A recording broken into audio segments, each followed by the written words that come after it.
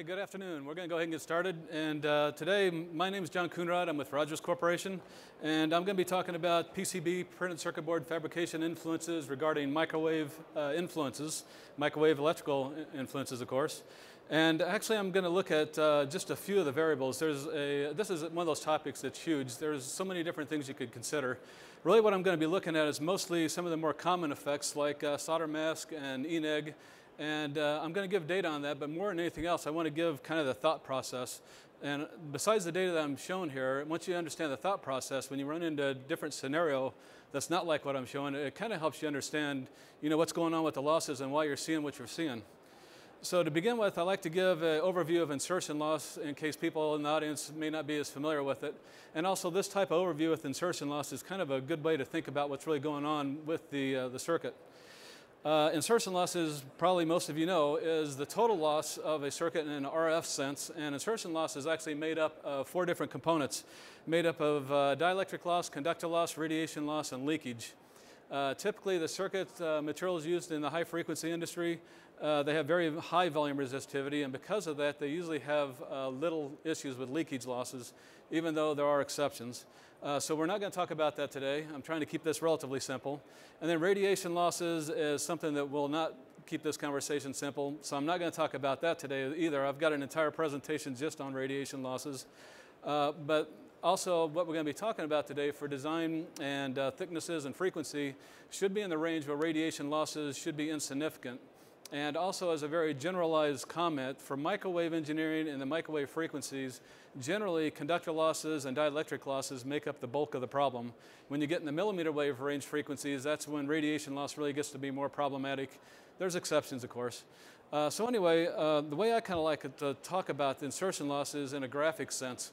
And uh, really what I'm going to do is look at uh, three different uh, charts here. The one in the middle has the legend, so let's go ahead and start with that one. And uh, this is using a 10 mil thick substrate. It's the Rogers 4350B substrate. It is a 50 ohm microstrip transmission line. And what I've done here is plotted the measured results for insertion loss from about 10 megahertz out to about 20 gigahertz. That's the thick purple line. Now, along with that, on that same chart are some other curves, and those are curves that generated from uh, free software on our website called MWI 2014. And what I like about that software is it gives me the ability to dissect the losses. So it tells me how much of the total loss or the insertion loss is made up of dielectric losses or conductor losses. So I get my model to where it matches pretty closely. The model total loss matches pretty closely to the measured loss of the circuits, which makes me think the model's within the range it should be for accuracy. And then I look at uh, how much of the dielectric loss and conductor loss is made up, uh, makes up that total insertion loss. And as you can see on the 10 mil thick circuit, uh, there's more conductor loss than there is dielectric losses. Now, the same thought process applied to a thinner circuit, same material, it's uh, the uh, 4350B again, except 6.6 mil, now it's thinner, and you adjust the line width to maintain 50 ohms, more narrow conductor, and what you see is a pretty big shift in what's making up the total loss. The total loss now is really dominated by conductor loss. And the general trend is the thinner you go for circuits, the more the conductor loss dominates. And there's very few exceptions to that. And then if you want to go on the other end of the spectrum with this thickness dependency issue, you can look at a 30 mil thick circuit. And again, same material, you adjust the conductor width to maintain 50 ohms. And what you find here is a different scenario where the conductor losses are no longer the dominant factor. It's actually the dielectric losses that dominate. And the dielectric losses are mostly related to dissipation factor. So when a customer comes to us and says, I'm using your 6.6 4350B and uh, I want to improve the losses, so I want to go to a different material with lower dissipation factor, we typically say you could do that, but it's not going to make much difference because that's related to dissipation factor.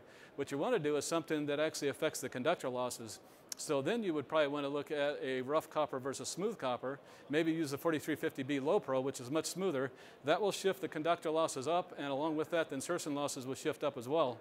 And on the flip side, if someone has 30 mil thick circuit and they're wanting to improve losses and they think about, hmm, smoother copper is better, and they try to do that, they're not going to see the improvement because copper is not the dominant factor. On a thicker circuit, you really do want to go to a material with a lower dissipation factor because, again, dielectric losses dominates for a thicker circuit. So now let's talk about solder mask. Um, I'm basically done a study on two different types of circuits here. They're both using the 20 mil thick 4350B. They're both microstrip constructions. And uh, the chart on the left is for transmission lines. The one on the right is really screenshots of uh, microstrip edge couple bandpass filters that I've tested.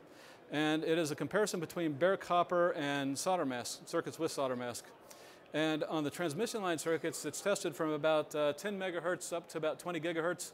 And you can see that it's, uh, there is a frequency dependency. So if you have an application around 20 gigahertz and you're thinking whether to put solder mask on the application or not, well, 20 gigahertz, you might want to think about that pretty carefully because there is a significant difference in, in losses due to the application of solder mask. However, if you're down around you know 500 megahertz or 1 gigahertz or 2 gigahertz, well, if you look at that, there's not much losses, uh, differences between the solder mask and the bare copper circuit then, so maybe that's a, a valid thing to try. Uh, for reference, just for I'm going to talk about something in just a minute, about at 3 gigahertz, the difference between the circuit with the bare copper and the circuit with the solder mask, it's a difference of about 0.015 dB per inch. Now when you switch gears and you look at a different structure on the same material, this is an edge coupled bandpass filter and it's centered at 3 gigahertz.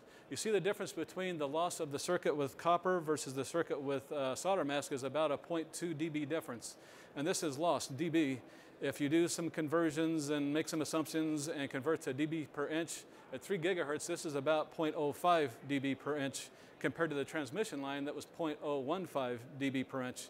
So the coupled feature is much more sensitive to the solder mask, and it makes sense because these features are such that you have these conductors that are side by side, and you have some uh, coupling effects between the fields. And when there's no solder mask, these coupling effects are using air, which is the lowest loss medium, of course. When you cover that up with solder mask, well, now these fields are using the solder mask, and that's not such a low loss medium. So the edge coupled feature is actually affected more by the application of solder mask than the transmission lines or stubs, uh, features like that. So this is another thing I wanted to talk about too, solder mask, uh, still looking at bare copper and solder mask. It's using a different material. This in, in, this case is using the Rogers RO3003, which has a dissipation factor of 0.001, so it's a very low loss material. And here I'm looking at the effects of different thicknesses of circuits. And the reason I wanted to show this is because this is one of the few, I wouldn't really say exceptions, but anomaly to the original uh, slide that I talked about, thickness dependency and these different uh, losses. So if you look at this, the uh, 5 mil thick circuits, copper versus solder mask, there's about a 0.053 dB per inch difference for the very thin circuit that's 5 mil thick substrate. Again, these are microstrip transmission lines. And then if you look at the same material but thicker using 20 mil thick substrate, the circuits of bare copper versus solder mask, there's a much less difference, about 0.027 dB per inch. Now what's interesting is you're thinking that a thin circuit should be dominated by conductor losses, and solder mask is not affecting conductor losses. Solder mask is affecting dielectric losses. So why is this circuit seeing such a big difference? And the reason why is a different reason, and it really has to do with thickness ratios. The solder mask is one mil thick, the substrate's five mils thick, and it's really that the solder mask is more of a ratio of the overall dielectric. That's what's really causing the issue there. Now, if you think of that same type of thickness ratio with the 20 mil thick, then it gets a little confusing because one mil solder mask on a 20 mil thick substrate, yeah, you shouldn't see much difference. But in reality, you really do. And that's when you go back to the idea a thicker circuit is more sensitive to dielectric losses. Putting solder mask on is adding to dielectric losses. So that's one of those, not exceptions, but just kind of an anomaly. And then if you look at how the circuit perceives dielectric constant, the way we measure that is using the microstrip differential phase length method. And essentially what we do is we measure a short circuit and a long circuit for phase, uh, calculate the effective dielectric constant, and then back calculate the dielectric constant of the material as the circuit would perceive it. And there's different things that would make the circuit perceive a different dielectric constant, like copper roughness can actually make the circuit perceive a different dielectric constant than what the substrate is. Long story, not going to get into that right now, but using that measurement and looking at the thin circuits, 5 mil thick uh, laminate with uh, bare copper is the green curve, 5 mil thick laminate with the solder mask, that's the blue curve. You can see there's a pretty big difference there. Dk difference about 0.3. Now if you look at the thicker circuits, the 20 mil thick 3003 materials, you can see there's again a pretty good size difference, about 0.15 difference. So the bottom line there is when you put solder mask on, it's not just a loss issue, it can be a dielectric constant issue. And of course, a lot of uh, the circuits have impedance matching and different things like that that are sensitive to these differences in constant. So that's something to keep in mind as well. Uh, next thing I want to talk about is ENIG. Uh, sometimes when I talk about ENIG, people think I'm bashing the finish, and I'm really not. ENIG's a good finish. It's used a lot, and it's got a lot of good purposes, uh, but it just has the natural thing that nickel is less conductive than copper. So when you put ENIG on a conductor, you are, you are increasing the conductor loss because really nickel is about one-third the conductivity of copper. So ENIG applied to a circuit, you're going to improve the, you're going to increase the conductor losses. Now in the case of a thin circuit that is very sensitive to conductor losses, you're going to see more of an increase. A thicker circuit, you're going to see less of an increase. So again, looking at microstrip transmission lines, in this case using our Rogers RO4003C materials, I looked at a thicker transmission line, or a transmission line using thick materials and thin materials.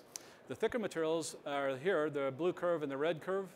Blue curve is the 20 mil thick substrate with bare copper. Red curve is the uh, same circuit with ENIG plating. And there you get a difference of about 0.21 dB per inch for loss. And this is out at uh, 25 gigahertz. And then uh, the other comparison is the same material but thinner material. Now it is 8 mil thick. And the difference between the bare copper green curve and I guess that's purple is about 0.3 dB per inch difference between bare copper and ENIG. So you can see that yes, the thinner circuit is more affected by conductor losses and ENIG does increase conductor losses. And it's nothing bad about ENIG, that's just the nature of nickel. Uh, and then there's also circuit design specific issues. A microstrip transmission line, as you know, is a pretty simple structure. You have a signal on top, ground plane on the bottom, and some people ask sometimes, why is the losses increasing when you plate ENIG on a microstrip transmission line? Because really you're just plating on the outside three edges of the conductor, and most of the fields are between the signal and the ground and they're not affected by the ENIG. And the main reason why is if you look at the signal conductor, there's some fields on the edges, and there's actually very high current density on the edges, and the ENIG is involved with that, and that's how the microstrip transmission line is increasing losses. In the case of a coupled feature, like I've showed here, a grounded coupled, a grounded coplanar waveguide, and this one happens to be tightly coupled, meaning that the space between the signal conductor in the middle and the adjacent ground planes, that space is very tight. And that means the electric fields on that plane are very uh, intense. And also the current density on the sidewalls of these conductors is also pretty high. So now this scenario is different than the microstrip. In this case, the fields are actually going through four layers of ENIG, and the nickel influence on losses is going to be pretty significant. So the comparison and measurements that I've taken, again using uh, 4003C, in this case, case 8 mil 4003C, transmission lines again. The difference here between the microstrip, uh, bare copper versus ENIGs, about 0.5 dB per inch, and that's out at 50 gigahertz, so that's a little higher frequency. And then the same type of testing using this type of structure, a grounded coplanar waveguide that's tightly coupled, out to 50 gigahertz. The difference between bare copper and ENIG is much more, about 1.2 dB per inch. So the circuit structure itself does make a difference, and if it's coupled, that's even more of a difference. So I buzzed through that pretty quick, and I've got just a couple of minutes for questions if anyone has any. Yes, sir. Yep, I sure have. Actually, I'm in the middle of a big study right now where I'm looking at immersion tin, immersion silver, um, gosh, uh, pig, ENIG, a bunch of different things, different materials, different thicknesses. Long story made short, immersion silver looks just about like copper in insertion loss. There's just, the difference is in the measurement noise as far as I can tell. Very, very little difference. Yes, sir.